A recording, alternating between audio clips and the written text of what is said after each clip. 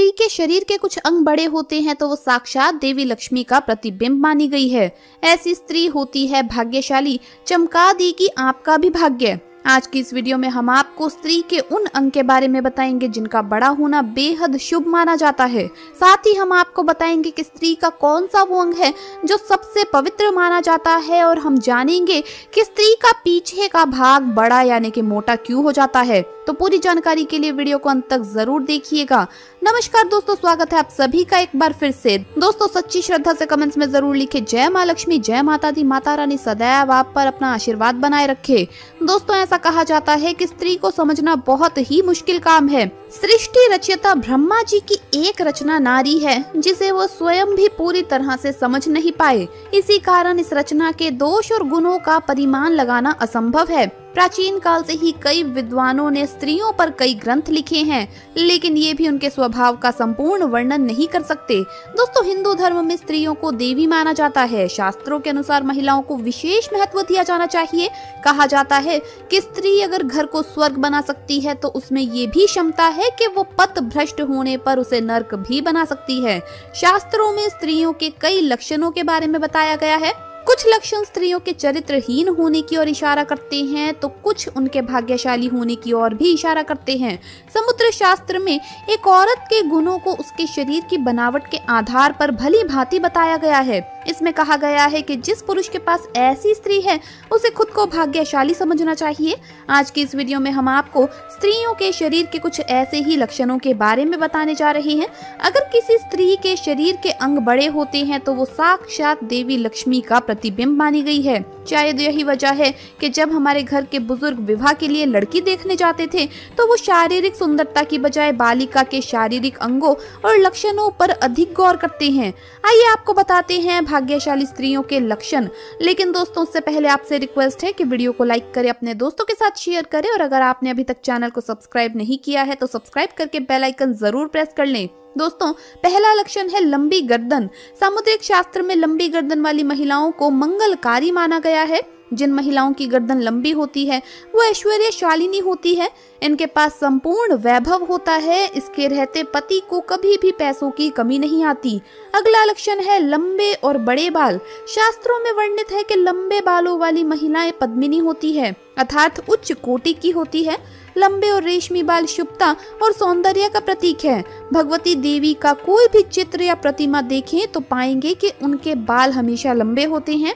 लंबे बालों वाली महिलाएँ पति के लिए भाग्यशाली साबित होती है। अगला लक्षण है मासल और पृष्ठ जंगाएँ मासल और पृष्ठ जंघाएँ भी सौभाग्य प्रतीक हैं। सामुद्रिक शास्त्र के अनुसार जिन महिलाओं की जंघाएँ पृष्ठ व मासल होती है, वो वैभवशाली होती है। इनके कारण ही पति को मकान और वाहन आदि का सुख बेहतर ढंग से प्राप्त होता है। पतली व विकृत जंघाओं को शास्त्रों में अच्छा नहीं माना गया। अगला लक्षण है बड़ी आँखें। बड़ी आँखें महिलाओं के लिए सौभाग्य का प्रतीक होती है। गरुण पुराण में लिखा है कि बड़ी आँखों वाली महिलाएँ विदुषी, विवेकशील और बेहद समझदार होती है। ये पूरे परिवार के लिए शुभ होती है और विपत्ति आने पर अपनी सूझबूझ से पूरे परिवार को संभाल लेती है। इनके रहते घर में धन की कमी नहीं होती। अगला लक्षण है लंबी नाक। सामान्य से कुछ लंबी नाक वाली महिलाएँ गंभीर और शांत स्वभाव की होती हैं। ये हर विपत्ति का सामना करने में सक्षम होती हैं। इनके कारण पूरा परिवार सुरक्षित रहता है। वहीं सामान्य सिर और सामान्य आकार के कान वाली महिलाएँ परिवार के लिए अच्छी मानी जाती है। अगला लक्षण है पैर और उंगलियाँ। सामुद्रिक शास्त्र में महिलाओं के हाथ और पैरों के आकार को विशेष महत्व दिया गया है। सामान्य आकार के चिकने पैरों वाली महिलाएँ एक तरह से लक्ष्मी स्वरूप होती है। इनके पैरों की सबसे छोटी उंगली कुछ लंबी और भूमि को स्पर्श करती हुई होती है। ये महिलाएँ बेहद ही भाग्यशाली और पति के लिए लकी होती है। इसी तरह हाथों की मध्यम आकार की उंगलियों और चिकने हाथों वाली महिलाएँ भी पति के लिए बेहतरीन और लकी साबित होती है। दोस्तों, कुछ महिलाओं के पीछे का भाग मोटा होता है, वहीं कुछ महिलाओं में ये भाग शादी के बाद बड़ा हो जाता है। तो आइए अब जानते हैं कि ऐसी महिलाएँ कैसी होती है। दोस्तों, जानकारी के लिए बता दें कि एक सर्वे में इसका खुलासा हुआ और इस सर्वे के लिए महिलाओं का पीछे का सबसे बड़ा भाग और कमर के सबसे पतले हिस्से को मापा गया। यूनिवर्सिटी ऑफ़ लीड्स के शोधकर्ताओं ने इस सर्वे में पाया कि जिन महिलाओं ने कई बार वन नाइट स्टैंड किए हैं, उनका पीछे का हिस्सा आम महिलाओं की तुलना में काफ़ी बड़ा है। एक सर्वे के बाद ये भी पाया गया कि जिन महिलाओं के पार्टनर के अलावा उनके और भी कई संबंध थे तो उनका भी पीछे का भाग कई सेंटीमीटर बढ़ा पाया। खैर, ये तो थी कुछ रिसर्च और सर्वे की बात, लेकिन आपको बता दें कि ये बात हर महिला के लिए लागू नहीं होती। दरअसल दोस्तों, शादी के बाद महिलाओं में कई हार्मोन सक्रिय हो जाते हैं, जिसके कारण वो ज़्यादा खाने लग जाती है और उनका पीछे का भाग बड़ा हो जाता है। वहीं ज़्यादा सोने से भी महिलाओं का पीछे का हिस्सा ज़्यादा बड़ा होने लगता है। दोस्तों वहीं 18 से 26 साल की 148 महिलाओं को लेकर किए गए इस रिसर्च के मुख्य शोधकर्ता प्रोफेसर कोलिंग के मुताबिक जिन महिलाओं के बाकी महिलाओं की तुलना में पीछे का भाग अगर बड़ा होता है तो उन्हें कई फ़ायदे होते हैं। जैसे पुरुषों का इनकी ओर ज़बरदस्त आकर्षित होना और वहीं इन्हें बच्चे पैदा करने में काफ़ी आसानी होती है। पीछे के बड़े हिस्से वाली महिलाएँ बिना किसी खास परेशानी के शिशु को जन्म दे सकती है, जबकि इनकी तुलना में पतले हिस्से वाली महिलाओं को बच्चे पैदा करने में बहुत ही दर्द और तकलीफ़ का सामना करना पड़ता है। वहीं दोस्तों, अब शास्त्रों की माने तो जिन महिलाओं के पीछे का हिस्सा बड़ा होता है, उन्हें संतान सुख की प्राप्ति जीवन में जल्द होती है और इनकी संतान भी भाग्यशाली व सुख देने वाली होती है। ऐसी महिलाओं के घर में कभी भी संतान पक्ष की ओर से घर वालों को कोई भी दुख या कष्ट नहीं झेलना पड़ता।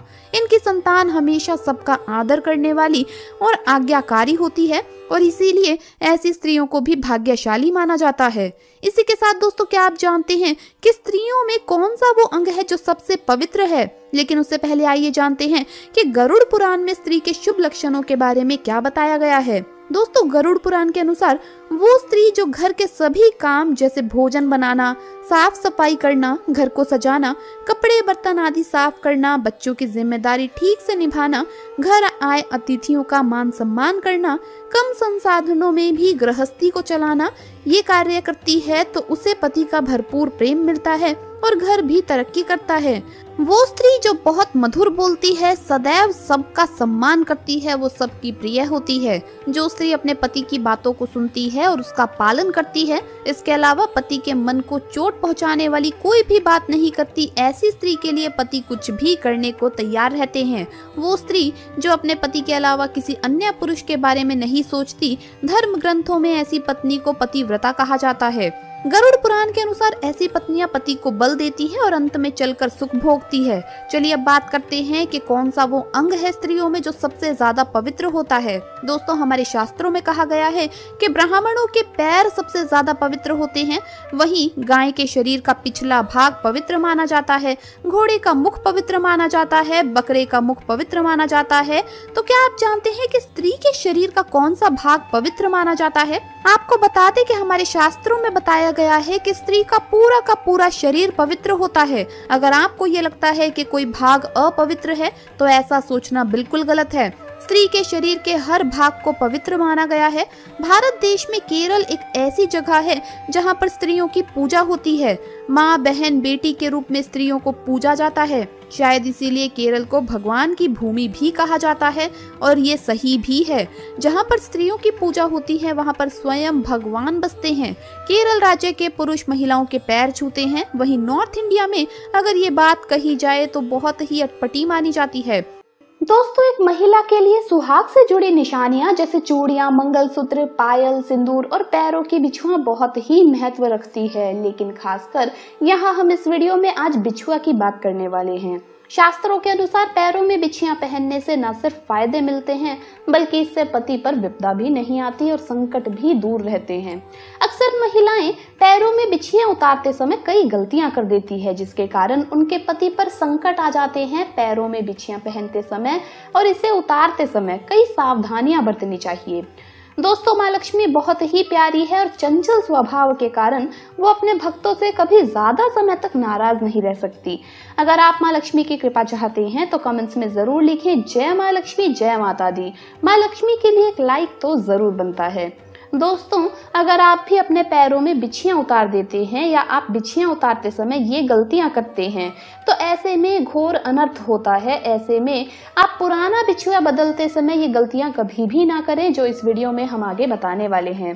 दोस्तों, शास्त्रों के अनुसार हिंदू मुस्लिम महिलाएँ दोनों ही पैरों में बिछियाँ पहनती है, लेकिन पैरों में ऐसी बिछियाँ कभी भी नहीं पहननी चाहिए, जो आपके वैवाहिक जीवन को खराब कर दे। तो चलिए जानते हैं। दोस्तों, सबसे पहले तो इस बात को जान ले कि अगर आप शादीशुदा है तो आपको पैरों में बिछियाँ ज़रूर पहनना चाहिए। शास्त्रों के अनुसार इसे पति की निशानी माना जाता है। पति पर कोई भारी विपदा ना आए, इसलिए महिलाओं को पैरों में बिछियाँ ज़रूर पहननी चाहिए और वहीं कुंवारी कन्याओं को पैरों में बिछियाँ नहीं पहननी चाहिए। इससे उन्हें घोर पाप लगता है। दोस्तों, पुराना बिछुआ उतारते समय और नया बिछुआ पहनते समय महिलाओं को कई सावधानियाँ बरतनी चाहिए। नहीं तो आपके पति पर कष्ट आ सकते हैं। नया बिछुआ पैरों में पहनते समय हमेशा उसे सटा कर पहनना चाहिए और पुराना तुरंत उतार देना चाहिए। ऐसे में नया बिछिया तुरंत पैरों में आ जाता है और कष्ट भी नहीं आते। शास्त्रों के अनुसार किसी भी महिला को थोड़े समय के लिए भी अपने पैरों से बिछियाँ अलग नहीं करनी चाहिए। दोस्तों, इसे सुहाग की निशानी होने के कारण कभी किसी महिला को अपनी बिछियाँ कभी किसी को देनी भी नहीं चाहिए, इसे पाप माना जाता है। अगर आप पुराना बिछुआ नहीं पहनना चाहते हैं तो आप इसे कहीं पर संभाल के रख दें। बिछुआ फेंकना भी गलत है, इसे पाप माना जाता है। दरअसल बिछुआ आपके अस्तित्व से जुड़ा होता है, जो आप दोनों के प्रेम को दर्शाता है। इसलिए बिछुआ कभी किसी को भी नहीं दिया जाता, इससे वैवाहिक जीवन खराब हो जाता है, क्योंकि ये आपके प्यार की निशानी है। दोस्तों, बिछुआ न केवल पति की निशानी होती है, बल्कि महिलाओं में कई बीमारियाँ भी ठीक हो जाती है। आपको बता दें, चांदी के गहने चंद्रमा की शीतलता का प्रतीक माने जाते हैं। इसलिए कमर के ऊपर सोने और कमर के नीचे के अंग में चांदी के आभूषण पहने जाते हैं। पैरों में बिछियाँ पहनने से पृथ्वी की कुदरती ऊर्जा ठीक होकर आपके शरीर में आती है, जो मानसिक तनाव को भी कम करने में मददगार होती है और तन मन तरोताजा बना रहता है। ऐसे में महिलाओं को मासिक चक्र में भी अगर समस्या है तो वो भी ठीक हो जाती है। और पेट में पल रही संतान फलीभूत होती है। संतान को कोई भी पीड़ा नहीं होती। महिला का ब्लड सर्कुलेशन भी कंट्रोल में रहता है। पैरों में बिछिया पहनने से दिमाग ठंडा रहता है और किसी भी तरह की बीमारियाँ प्रवेश नहीं करती। दोस्तों, पैरों में बिना किसी कारण अचानक से बिछियाँ टूट जाए तो अशुभ माना जाता है। इससे पति पत्नी पर कष्ट आते हैं और दोनों के बीच वाद विवाद हो जाता है। शास्त्रों के अनुसार मंगल सूत्र का अचानक से टूट जाना, पैरों की पायल अचानक से टूट जाना किसी बड़ी अनहोनी की ओर इशारा करता है। ऐसे में महिला के गहने गुम होने पर भी अशुभ माना जाता है। ऐसा माना जाता है कि महालक्ष्मी आपसे नाराज़ है क्योंकि आभूषण माता लक्ष्मी की ही देन है। तो दोस्तों, आपको ये वीडियो कैसा लगा हमें कमेंट्स में ज़रूर बताएँ। इस वीडियो को लाइक करें, अपने दोस्तों के साथ शेयर करें और हमें सब्सक्राइब करना ना भूलें। धन्यवाद दोस्तों, आपका दिन शुभ रहे। जय माँ लक्ष्मी जय माता दी।